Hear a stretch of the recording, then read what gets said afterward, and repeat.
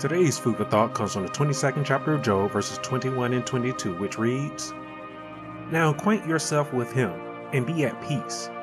Thereby good will come to you. Receive, please, instructions from his mouth, and lay up his words in your heart.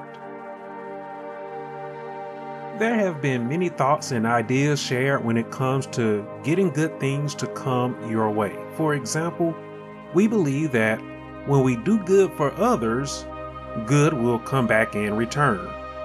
We also believe that if we form healthy habits, like thinking positively, for example, then again, good things will happen for us. Sadly, however, many of us we have found that when we do these things, like treating others well and thinking positively, when we do these things, unfortunately, it seems that the world frowns upon us, as it can seem rare for anything good to come our way. Now, while these practices I actually believe are really good for us, I tell you today that there is an even better way for you to go. If you are not already acquainted with Christ, I invite you today to get acquainted with Him. If you are not already acquainted with Christ, I tell you today, receive His instructions and learn to be at peace with His guidance.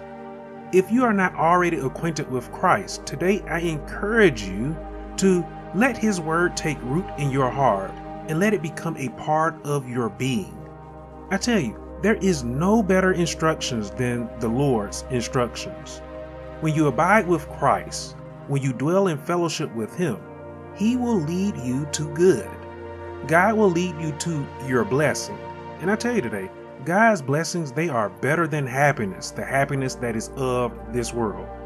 God's blessings, they will make you content in your heart and when you are content in your heart, you will have found better than good. You will have found true peace.